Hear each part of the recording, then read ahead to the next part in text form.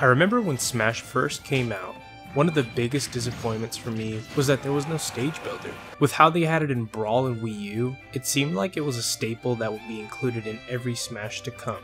That's why when they leaked Stage Builder prior to the version 3.0 announcement, I felt nothing. It was heavily being overshadowed by Joker's reveal for me. But what I know now is that Stage Builder is actually the greatest part of this big update.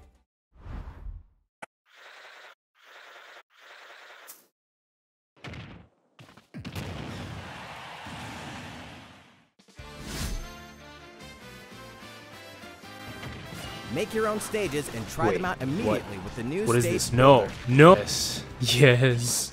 Yes. In handheld mode, you can freely draw using the touchscreen.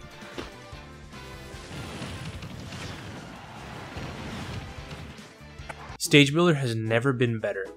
With the shared content system, everyone can go and look at what's hot and what's new. Stages can easily be shared and downloaded with the use of IDs. Some of these stages excel in different areas, whether it's creativity, pure aesthetic, or functionality.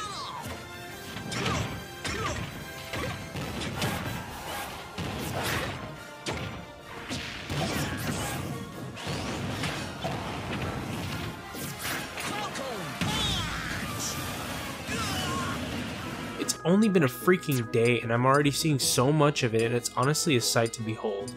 Yesterday I saw someone using weight to actually move an object. We got people already taking advantage of the physics of Stage Builder, and this is only the tip of the iceberg. I honestly can't wait to see where we go from here.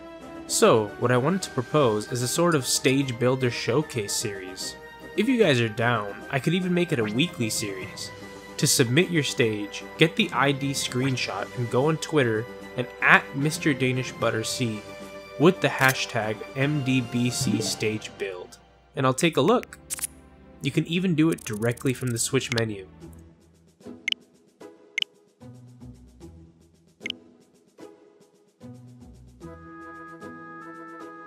With all that being said, I hope you guys are enjoying 3.0 as much as I am. I'll see you guys in the next video.